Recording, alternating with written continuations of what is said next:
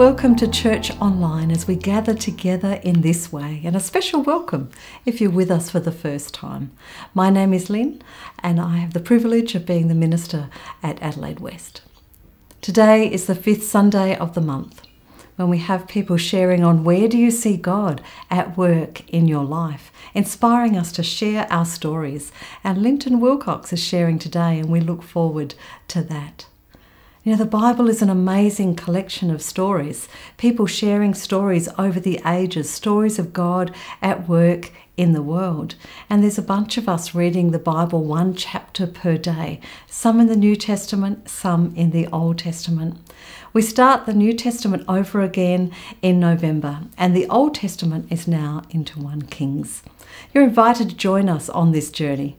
If you would like a calendar, they're available on the Facebook uh, in the AWAC group, or send me an email. I'd love to send it to you. As we begin our worship, we light a candle as a reminder that Christ is the light of the world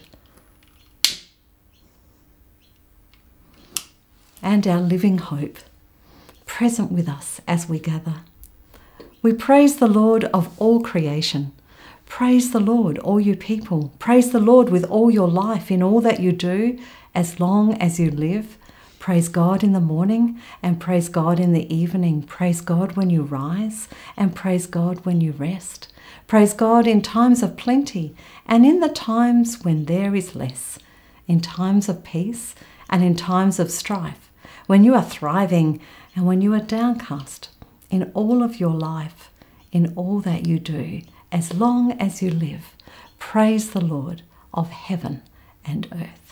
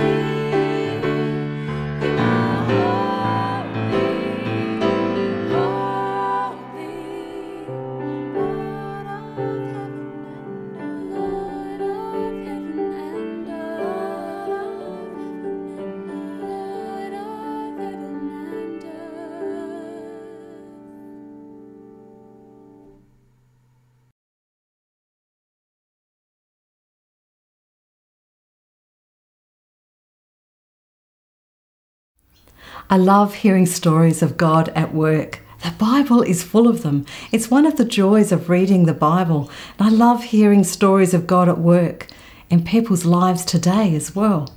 We can do that in articles and books and autobiographies, and we can share them together. It's one of the joys of being part of a small group or a connect group. It's a place where we share together and pray together, support each other in the lows, and rejoice with each other in the highs.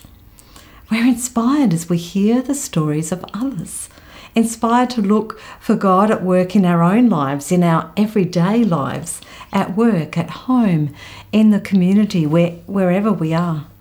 Inspired to look for God at work in the lives of others and at work in our communities and in our world. I often say that I turn up here to church to see what God is up to in the church and in the community around us, and we get to be a part of that, part of God's mission. We're invited to participate in what God is up to, and I wouldn't want to be anywhere else. Today, Linton is sharing here online and also at the 11am service. At the 5pm service tonight, we're, we're all bringing stories to share and we'll write them on a whiteboard together. You know, where do you see God at work in your life? I encourage you to share that with others. Share the stories together because the stories encourage us, inspire us, and uplift us, both in the sharing and in the listening.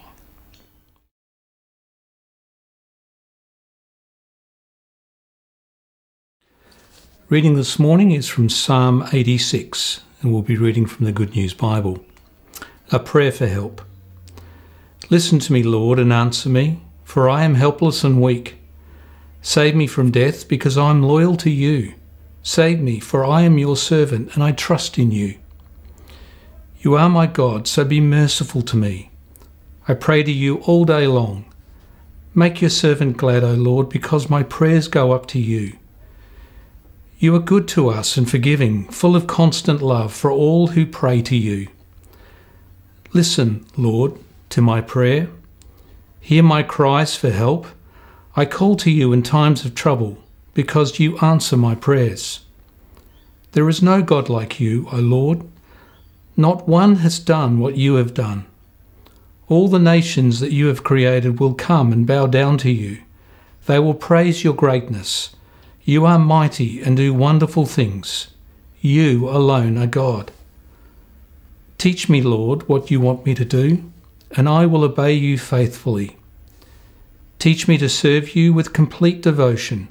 I will praise you with all my heart, O Lord my God. I will proclaim your greatness forever. How great is your constant love for me! You have saved me from the grave itself. The proud are coming against me, O God. A cruel gang is trying to kill me, people who pay no attention to you. But you, O Lord, are a merciful and loving God, always patient, always kind, always faithful. Turn to me and have mercy on me.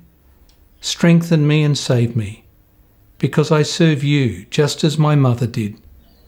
Show me proof of your goodness, Lord those who hate me will be ashamed when they see that you have given me comfort and help. Hear the word of the Lord. Amen.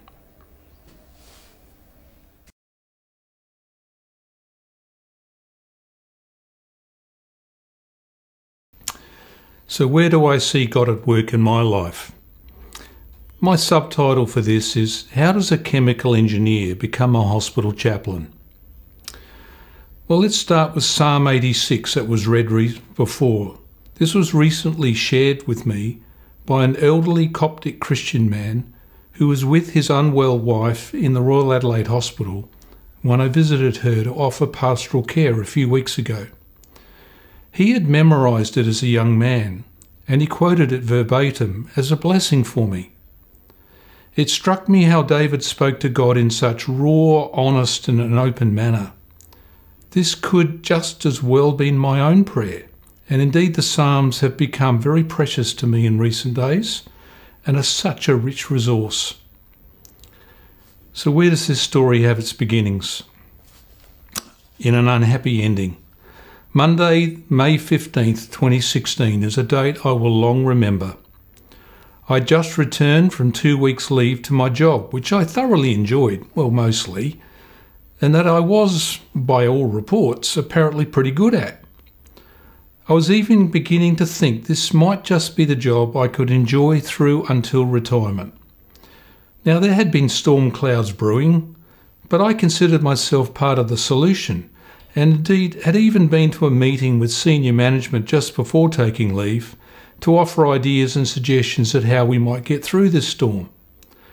However, there was also significant changes that occurred in management earlier that year, so little prepared me for the return to work on that morning to be summoned to a meeting and be told the company no longer needed me and that, along with many others, were being made redundant.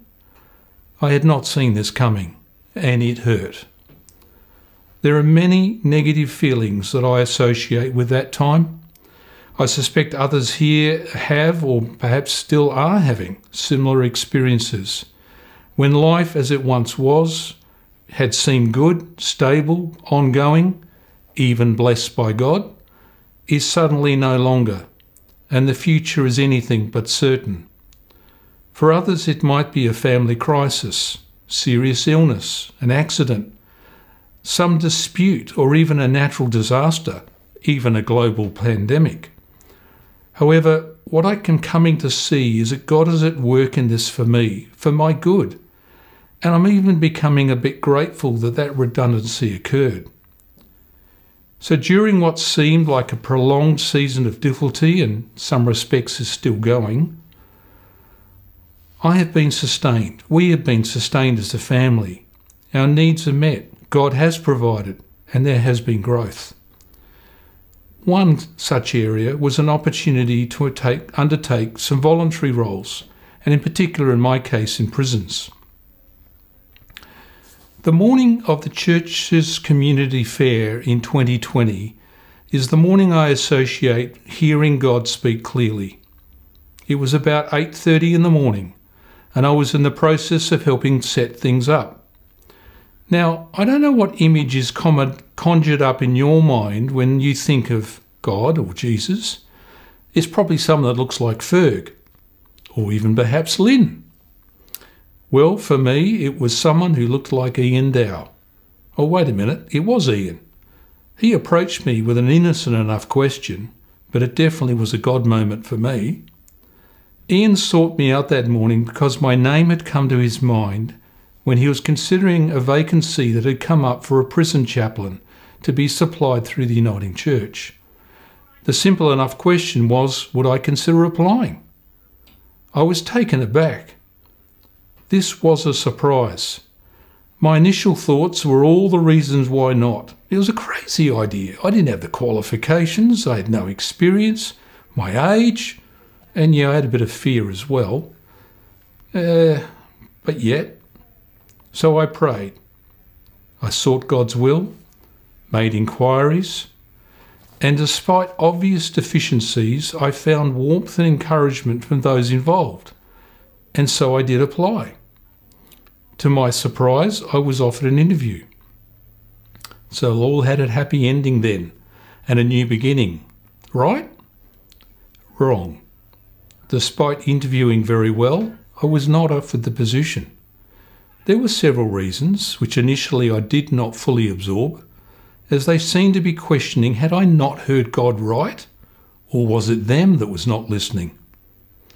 But in time, I considered the feedback and found much of it constructive, and one item in particular had stuck out for me the need to do, or better to have done, clinical pastoral education, or CPE. I had researched this and made inquiries. CPE was all about developing and enriching one's pastoral and spiritual care practices and identity, largely through self awareness via an action reflection method of evaluation done in a small group environment. Now, a key aspect of CPE was doing relevant field experience, so you needed to be practicing chaplaincy for it to be meaningful. Well, how did that work with being rejected from the prison role? So, despite not getting the prison role, in late January of this year I commenced a unit of CPE under the supervision of Reverend Liz Dyson. With her help, I switched my field experience over to chaplaincy at Ashford Hospital and commenced a 20 week, one day per week placement beginning in early February. It was a thoroughly positive experience, albeit occasionally quite rough. And at another time, I might share some learnings from those early pastoral encounters. But I got to experience God at work in me as I reflected on several of these encounters using guiding questions like How did this encounter affect me personally? How did my responses influence and affect the other person? Did I identify any personal skills and pastoral resources? What were the major concerns and underlying issues that came to light? Probably the most important where was God in this encounter? What questions did I have with Him? and with my beliefs in light of the encounter? Was there an image, a song, or a biblical story that came to mind that helped explain these things? And what did I discover about myself through these experiences? Now, towards the end of that CPE unit, I became aware of chaplains being sought at a number of hospitals, the QEH and Calvary in particular, and also roles at with aged care with Resthaven and Helping Hands. Now, three of these roles were supplied through the Uniting Church. The same people who had six months earlier interviewed me for that prison chaplaincy role. I was known to them, and the opportunities were there. A phone inquiry was made, and it immediately resulted in being asked to fill a short term vacancy at the Royal Adelaide Hospital. And so the following Monday, Less than a week later, I commenced in that role, and so it has continued to now, and is set to do so for at least a further month. Now, I want to change tack here and just share with you three encounters to illustrate where God is at work. Laurel was admitted to hospital with a life threatening illness. Two days after her admission, things were going downhill and she became unresponsive, and the family were called to her bedside. The children knew their mother had a deep and abiding faith, and so sought out, with the help of staff, spiritual care. And so I received a page as the on call chaplain that day. As I stepped into the room, I entered a quiet hush. It was broken only by the sounds of her laboured breaths. After some introductions, I invited each family member in turn to share some memories of their mother, and over the next 45 minutes we heard story after story of her rich and long life, of all the beautiful, indelible marks that she had made on her family. So while I never had the opportunity to talk to her directly, I at least got to know her a little. I then asked, What would your mother want at a time like this? What would be meaningful to her? There was hesitation and uncertainty at this point, and so the decision was to let's go with what the chaplain feels is appropriate. Well, after some pretty rapid thought and a few prayers, I suggested they all gather around her bed, reach out and touch her, while also holding each other's hands, symbolising the family connection. I read out the words of the hymn Amazing Grace, followed by Psalm 23, both favourites of Laurel's as I had just heard. And I then invited them all to join in me in saying the Lord's Prayer. I concluded by offering a blessing over her and for the family. This was a very simple service to honour their mother and prepare her, prepare her and themselves for her imminent passing. I was later to hear the family had been touched, welcoming the ability to express their feelings. It's not uncommon to hear the words, I don't want to be any bother, spoken by an elderly person who finds himself unexpectedly in hospital, and yet their loved ones supporting them want the help and indeed be bothered. Such was the case with 78 year old Ken and his two daughters as they sought to come to terms with a prognosis that meant he would not be going home, the home that he had built 50 years earlier. As I listened to the discussion, I was able to form an understanding of the love that each had for the other, and so shared this observation on the basis. And they offered a prayer to trust God's guidance in making the hard decisions to come, and it assured them of His presence. This seemed to ease the tensions that had built up and reminded and reassured them of their purpose and that restored peace and a sense of hope. And the last story there are some precious times when you wonder who is ministering to whom. You get a call for a chaplain's visit thinking you might be taking into the room something to encourage, comfort, promote wellness, nurture peace, and such, when you suddenly realise the reverse is happening to you. When the faith, resilience, and warmth ex- exuded by the patient blesses you in rich measure. This is how I remember Hazel.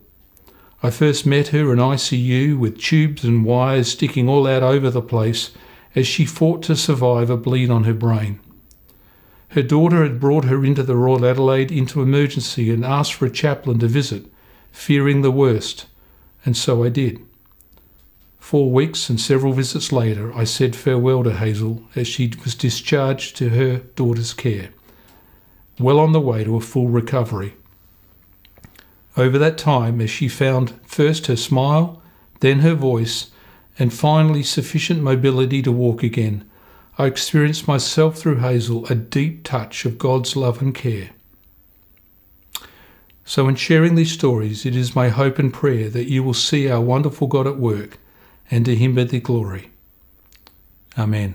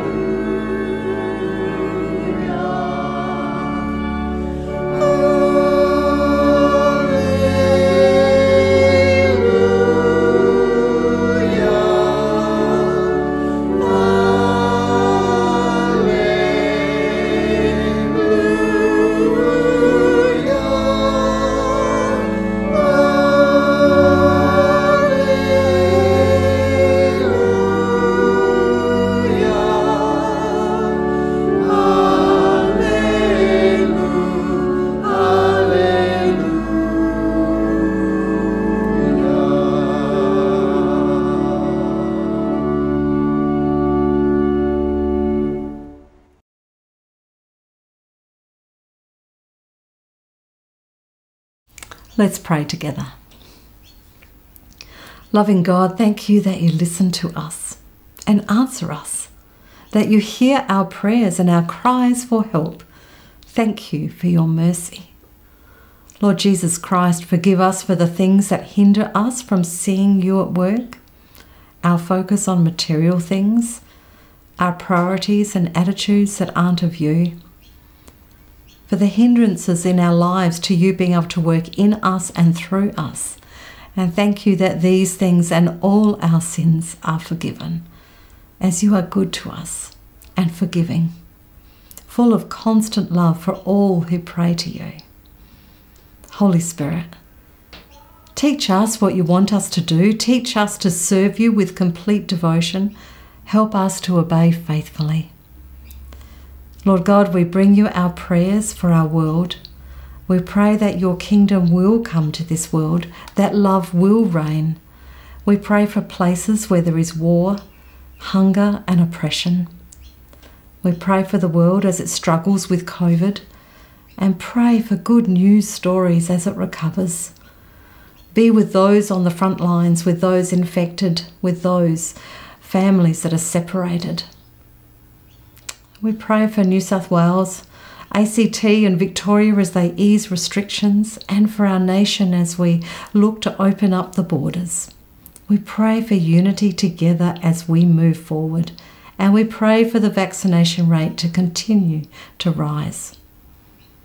Holy Spirit, we pray for the people and situations that are on our hearts today.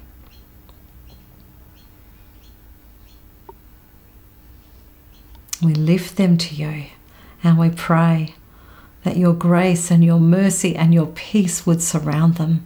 We pray for healing for those who need healing. And we pray for love and laughter for those who feel lost in the world.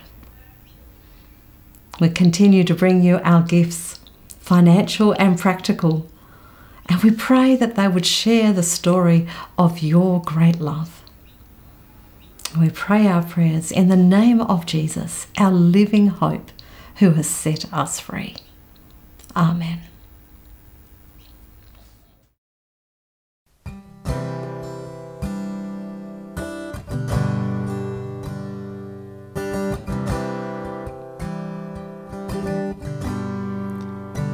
How great the chasm that lay between us, how high the mountain I could not climb. In desperation, I turned to heaven and spoke your name into the night. Then through the darkness, your loving kindness tore through the shadows of my soul. The work is finished, the end is written. Jesus Christ, my living hope. Who could imagine so great a mercy? What heart could fathom such boundless grace? The God of ages stepped down from glory to wear my sin and bear my shame. The cross has spoken, I am forgiven. The King of Kings calls me his own. Beautiful Savior, I'm yours forever. Jesus Christ, my living hope. Hallelujah, praise the one who set me free. Hallelujah, death has lost its grip on me. You have broken every chain. There's salvation in your name, Jesus Christ, my living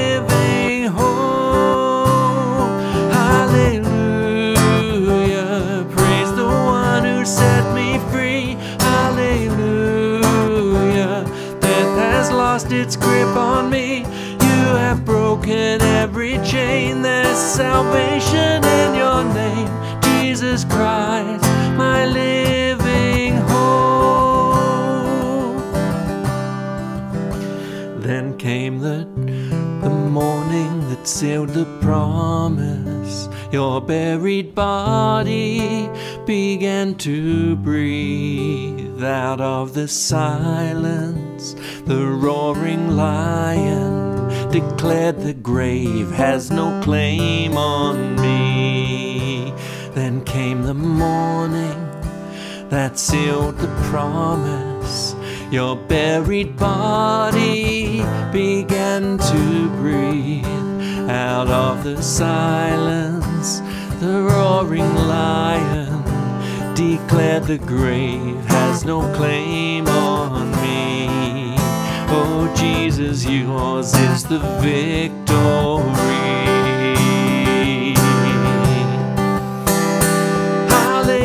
Hallelujah. Praise the one who set me free. Hallelujah. Death has lost its grip on me. You have broken every chain. There's salvation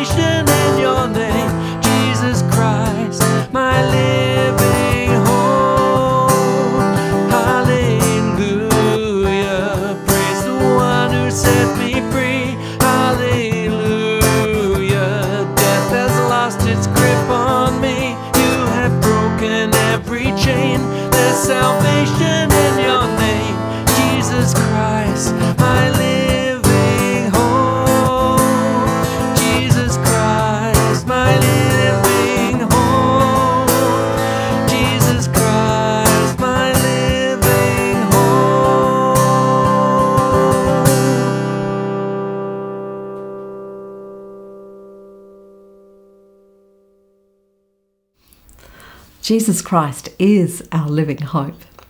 And we pray that this service has brought you hope today. If you would like prayer, please send us an email or press the prayer button if you're watching live. We would love to pray for you. Next week, we'll be sharing communion. So if you'd like to have um, some juice and some crackers or some bread ready for that, that would be great. Thanks to Linton for sharing with us today. It's been beautiful to be able to hear part of his story. This week, be inspired by the stories of God at work in the world, by what we've heard and what we read in the Bible. Look for God at work in everyday life. Look for God at work in others. And pray for God to be continually at work in your life. And may the grace of our Lord Jesus Christ and the love of God and the friendship, fellowship, and unity of the Holy Spirit be with you today and remain with you always. Amen. Blessings on your week.